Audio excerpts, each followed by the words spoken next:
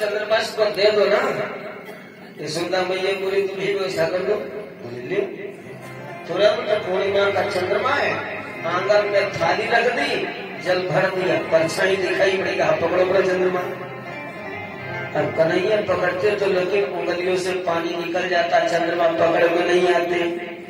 तो थाली में लग चंद्र की छाया नहीं छुपाए कन्हई। तो करुणा करके सारी लीला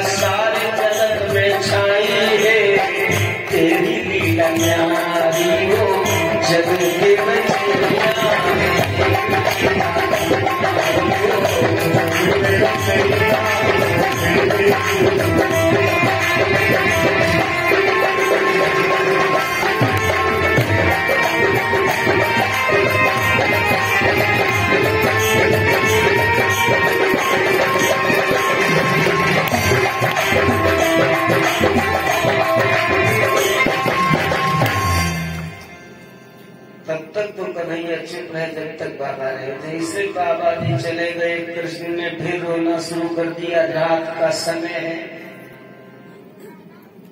मैं ये यशोदा बोली, चलो तुमको हम एक लोरी सुना सो जाओ। ले गई और कन्हैया जी को चुप करने के लिए कथा सुनाने लगे। और जब नींद ना आवे तो कोई कथा लगा दीजिए। और कान के पास रखिए, रेडियो मोबाइल कुछ और थोड़ी देर बाद सो जाओ या तो भगवान का भजन करो। नींद आ जाएगी। या तो ईश्वर का या ओम का पढ़ो का जाप करो नींद आ जाएगी। बढ़िया नींद आएगी। या तो माता पार्वती जी के, शंकर जी की पाँच बिटिया उनका नाम ले। पाँच लड़की हैं, उनका नाम लीजिए। और फिर बहुत प्यार से नींद आएगी सवेरे छह बजे बड़ी मुश्किल से जाएँगे जिनको नहीं होती उनकी बात करते हो सोन धाकड़ उनकी कौन चिंता? अशोक सुंदरी, सामने बानी दो तली, विसारा, जया, इनका नाम लेने से अच्छी नहीं लगती। तो भगवान का नहीं ऐसे कहा, चलो तुमको हम कथा सुना और कथा नींद आती है। नहीं आती लोग बेचारे घर में गद्दा पर नहीं सोते कथा में यहाँ बैठे बैठे सोया करते देखो तमाम लोग, अभी देखना भी तो शुरुआत नहीं हुई है। हाँ? बैठे बैठे सो जाते कथा में आज नहीं, जब शंकर जी माता पार्वती जी को सुना रहे थे, तब वो पार्वती जी सोई थी। उनको नींद जब अर्जुन जी अपनी पत्नी को कथा सुना रहे थे। अपनी पत्नी जी को कृष्ण की बहन सुभद्रा जी को। तो उसको नींद आ गई। कृष्ण की बहन सुभद्रा जी अर्जुन को यही थी, और उसका लड़का था अभिमन्यु। कृष्ण का सगा भांजा है तो उनको नींद आ गई। ये स्वाभाविक है, कथा में नींद आएगी।